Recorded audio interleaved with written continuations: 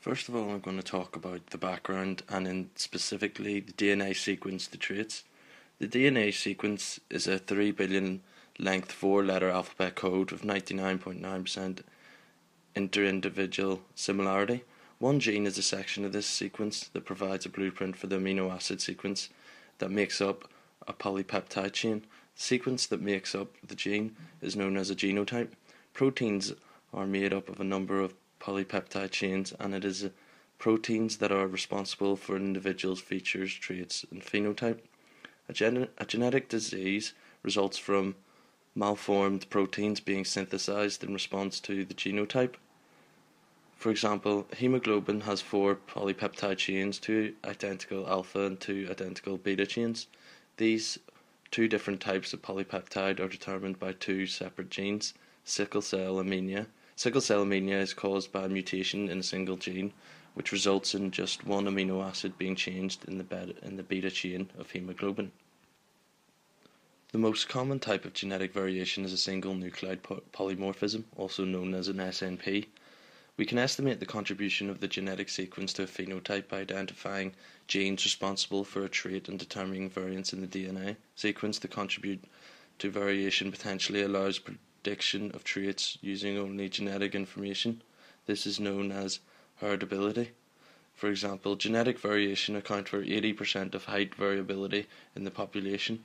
Hundreds of variants, some implicated in increasing height and other decreasing height, have been reported. So if an, so if an individual carries a large number of variants associated with larger height, we can predict they will have a height greater than the population average.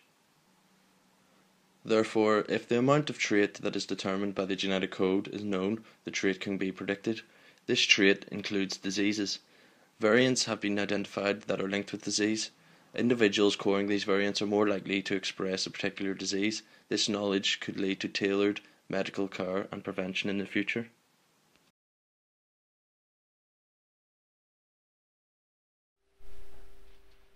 The problem. Variants linked to traits were discovered using genome-wide association studies. In a genome-wide association study, data in terms of measurement of a trait and the presence of variants from a large number of individuals is collected. A correlation between a trait or traits and variants is then calculated. Genome-wide association studies collect single nucleotide polymorphism information as this is the most common form of variant.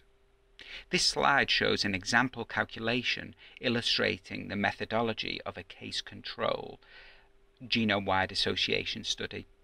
The allele count of each measured single nucleotide polymorphism is evaluated, in this case using a chi-square test, to identify variants associated with the trait in question.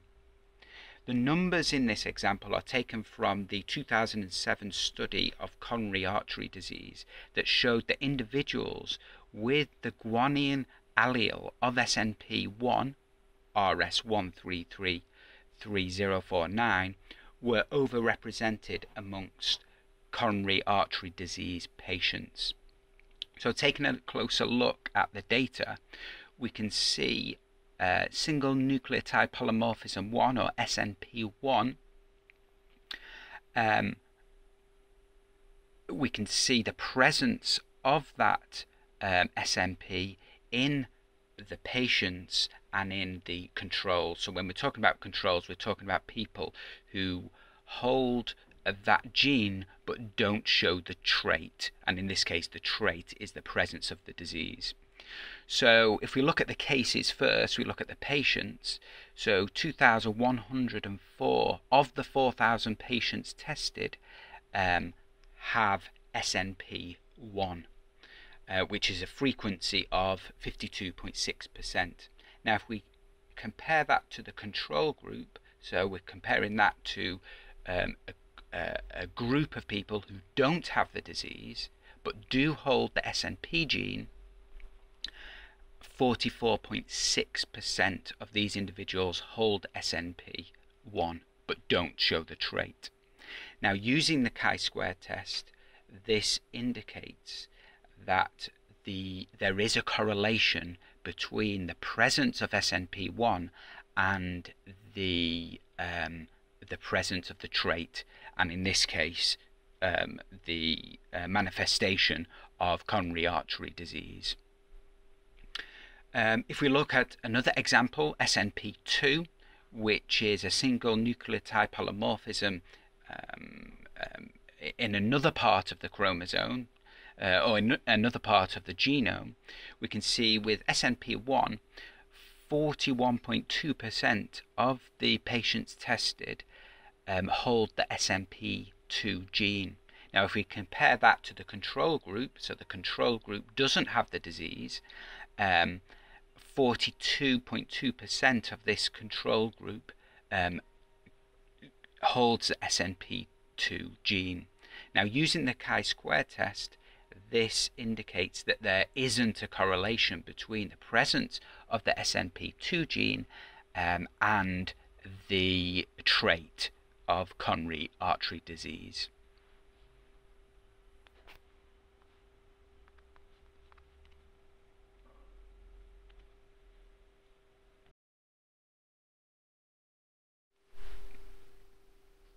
This next slide brings together data from a number of genome-wide association studies um, and um, comes from the 2012 Bush-Moore paper. Now the graph shows um, not only how common um, disease variants or variants uh, implicating the disease are within a population, but also shows how likely it is to display a particular trait or particular disease if the variant is present in an individual's genome. So any um, variant that is seen towards the top of the graph indicates that it is um, an individual would be more likely to display the particular trait or particular disease if they hold that particular variant. If the variant is towards the right of the graph, this indicates how common the variant is within the population. So if we look at some examples um, um, towards the, um, the top right of our graph there, we've got the variant APOE4 um, and it is quite a common variant um, within the population. And because it's towards the top of the graph it also indicates that if this variant is present within an individual's genome uh, it is um, there's a large likelihood that they are going to display this trait and in this, partic- this particular trait are the symptoms are the Alzheimer's symptoms if we look at another example, um, uh, another common trait um, is LMTK2, uh, and it's a very common trait found within uh, a very common uh, variant found within um, the population. However, having the trait um, within the genome um, does not mean that there's a high likelihood that they would develop um, the trait that is associated with the variant, which in this case is, is prostate cancer. Um, so, in terms of our genome wide association studies, typically they are able to identify common variants that have um, small um, effect sizes. So, we're looking at being able to identify um, variants that, that are in the lower right of this um, uh, of this graph.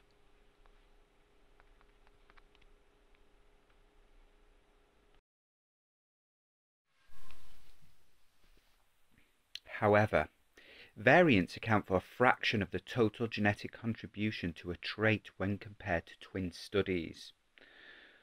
For example, genome-wide association studies have identified 50 variants influencing height that account for 5% of the phenotypic variation.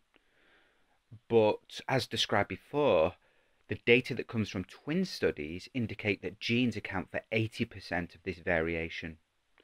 And so this gap between 5 and 80% is known as missing heredi uh, heritability. This missing heritability could be due to the variant interaction, epigenetics. So epigenetics is the interaction uh, of the genes with the environment uh, or other reasons that haven't been determined. This is an important area of research as personalized medical treatment is dependent on how we use genomes to predict disease risk. In order to determine the influence of genes on disease poses a computational intensive data analysis problem using large scale data sets.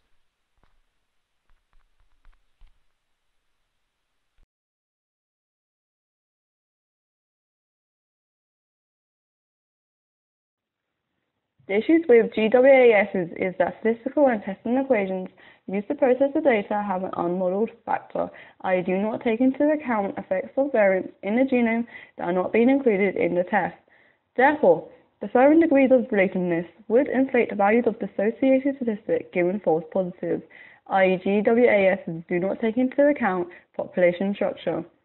For example, if a GWAS used a pair of siblings and a pair of unrelated individuals where siblings share half of their genome, therefore half their genome being identical, the values of the effects of the variants contained in this genome would contribute to statistically significant trait associations.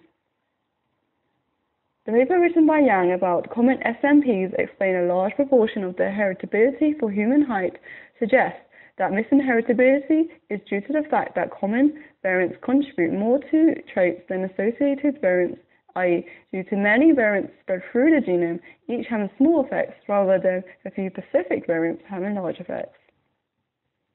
The paper written by Purcell about common polygenic variation contribute to risk of schizophrenia and bipolar disorder shows if the significance threshold is reduced, i.e. significance variants as well as variants having weaker effects were included, the predictive model showed better performance. However, this is analogous to overfitting in machine learning. These mixed models, which are statistical models containing both fixed effects and random effects, are the future in determining traits from genome information.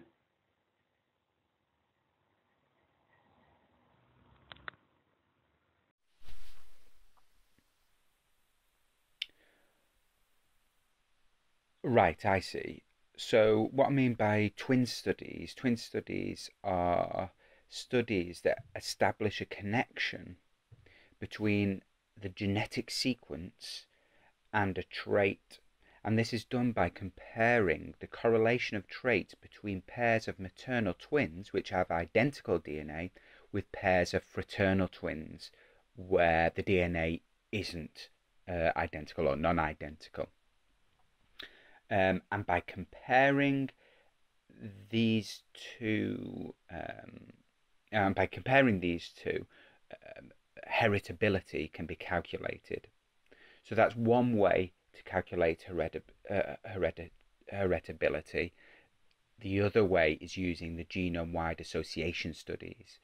Um, and the issue is the difference in the results between the two. There's a massive difference between uh, between the two. So when we look at the genome as a whole, traits are determined um, by the genes at a high percentage. For example, height. Um, twin studies show that height is um, determined by the genes um, by a factor of 80%, whereas if we use genome wide association studies, um, we have identified 50 variants that influence height, but they only seem to affect 5% um, of the variation in height.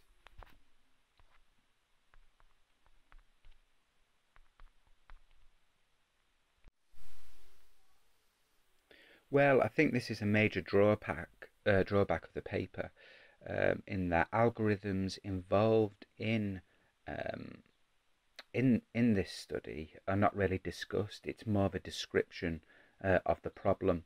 If we think about it, uh, computer science and algorithms used to um, uh, um, work on this problem can be split into two. Firstly, um, algorithms directly involved in um, uh, in determining how genes influence traits.